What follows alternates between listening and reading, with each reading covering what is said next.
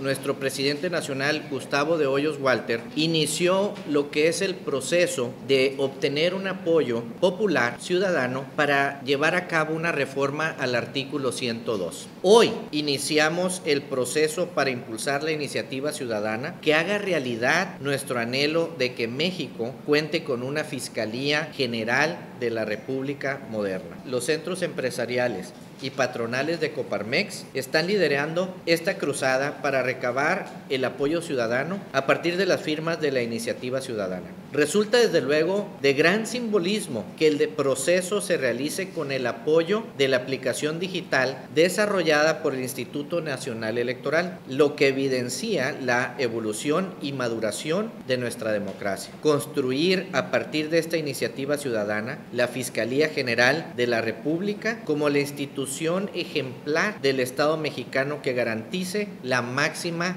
juarista. Nadie por encima de la ley y nadie al margen de la ley.